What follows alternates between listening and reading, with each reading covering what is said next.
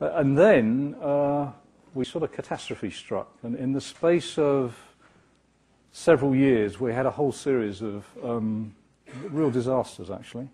We blew up a refinery in Texas City and killed 15 people. Our flagship project, uh, called Thunder Horse, almost ended up on the seabed in 6,000 feet of water in the Gulf of Mexico. We had uh, a major, major oil spill in Alaska. Uh, we were uh, found guilty by the Department of Justice for a trading manipulation in the natural gas markets of the US, and our financial performance over that time period was appalling. We underperformed our major competitors by anywhere between 30 to 50 percent. And so it was um, with that that I was given the job of being the CEO at BP. sort of interesting place to start life. It's not what I probably would have chosen, however. We had too many people that were working to save the world. We'd sort of lost track of the fact that uh, our primary purpose in life is to create value for our shareholders.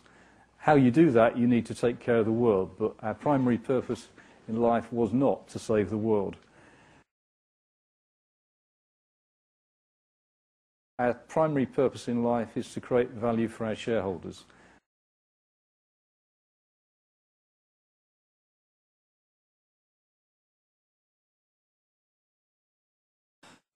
Since I've been the CEO of this company, uh, I have focused on safe, reliable operations.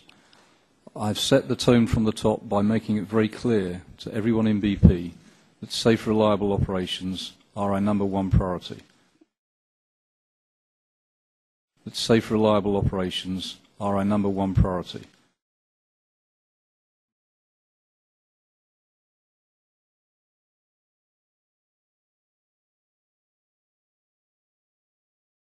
Our primary purpose in life is to create value for our shareholders. Our primary purpose in life was not to save the world. Our primary purpose in life is to create value for our shareholders. Our primary purpose in life is to create value for our shareholders. Our primary purpose in life is to create value for our shareholders. Our primary purpose in life is to